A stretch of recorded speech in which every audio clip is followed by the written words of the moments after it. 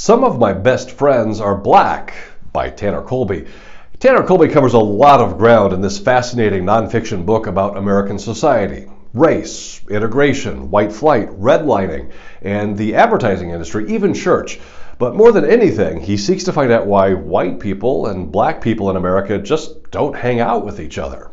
Colby investigates how Birmingham, Alabama schools rapidly changed with white flight and the impact of busing as a method of integration.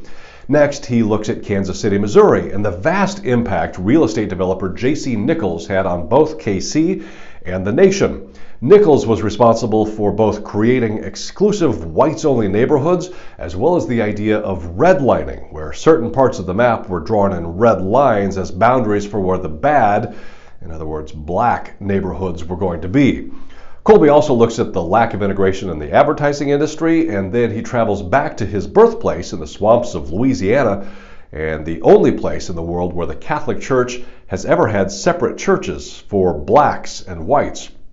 I highly recommend Some of My Best Friends Are Black. Not everyone is going to like it. Colby clearly presents some history that will make very uh, some people very angry uh, and others very uncomfortable.